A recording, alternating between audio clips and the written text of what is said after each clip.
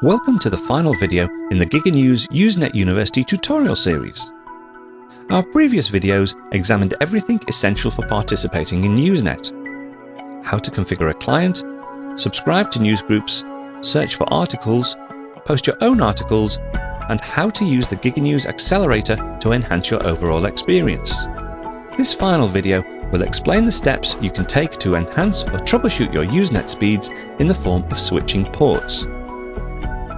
By switching the ports used for accessing GigaNews, you can possibly circumvent artificial bandwidth limiting and increase your overall performance with GigaNews. The default port for non-encrypted Usenet traffic is 119. GigaNews also allows this traffic on ports 23 and 80.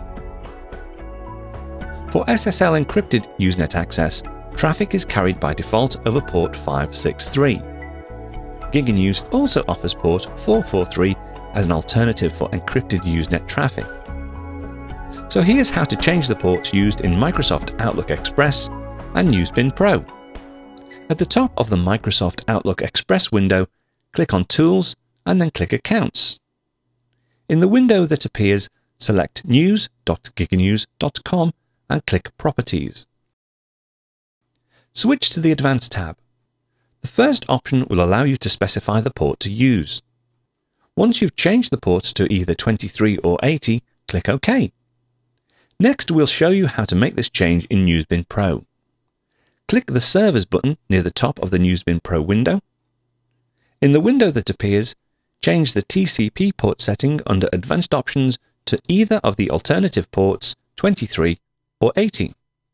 If you use SSL encryption, change the port in the Set SSL port field to the alternate port of 443. Once you've entered the desired port, click OK.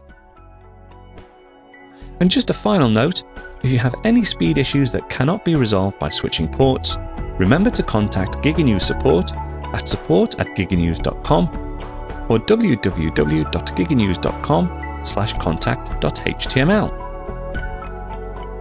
This concludes the Usenet University tutorial series presented by GigaNews. We hope you found these videos informative and would welcome any feedback